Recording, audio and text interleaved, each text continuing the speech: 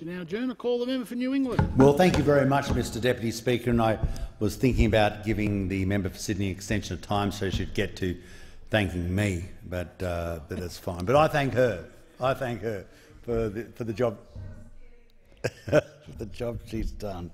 Um, and I also um, uh, concur with her remarks about all the things that people have done. Mr Deputy Speaker, um, more and more in my electorate, and might I suggest in so many others, there's a movement that's starting. It started with a few, but it's growing.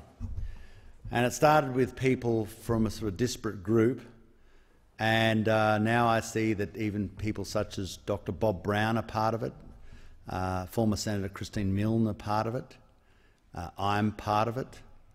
Uh, there's some senior people uh, around the countryside that are part of it. It's strange that we'd be all drawn together, and it'd be also even more strange if I tell you what it is. This movement against wind towers. People are, are getting sick of them. This is an encroachment, a complete encroachment into people's private lives. Mr Deputy Speaker, do you realise that 270 metres, the, the tip of these blades are only slightly lower than Centre Point Tower? And we have people, good people, good people who do not feel they have the power to protest. They feel they are removed from the power to do something about these issues, these things, as they call them.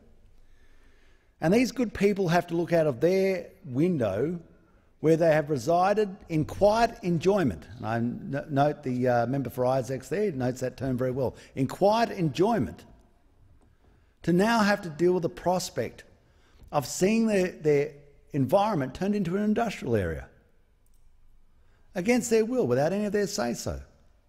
Certainly uh, the beneficiary of it is where those towers reside, but that's not them. And if someone's to say, say I was I'm going to put uh, 270 metre statues of bananas as an encouragement for you to eat fruit, even though bananas are a herb, someone say, well, there's something wrong about that. Uh, surely I have some buy-in in this.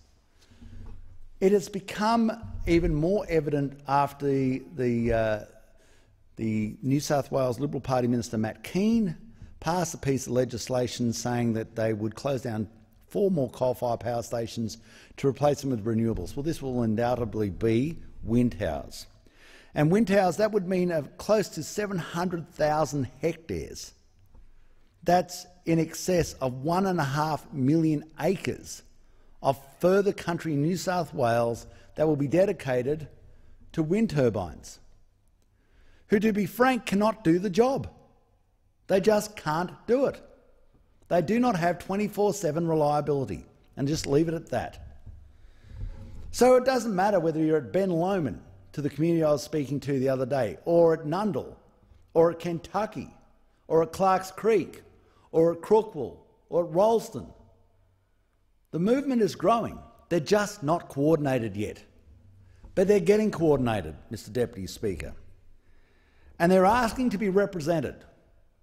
And they're asking that Australians in the Australian Parliament stand up against a thing that is 100% imported from overseas, 70% owned by foreign entities, and unable to do the job of the power unit it's removing. We have a dilemma in this nation, and this is it. And this is why I'm not a, a great religious believer in a sort of a metal in a in a sort of carboniferous item being coal. I'm a great believer in power. But what's happening now is we're saying, well, we can't have coal, we can't even mention the word. We can't even say it. We can't have nuclear because of uh, Chernobyl. That's 1954 Soviet technology. If you've driven around a 1954 Soviet car, you know what that's like.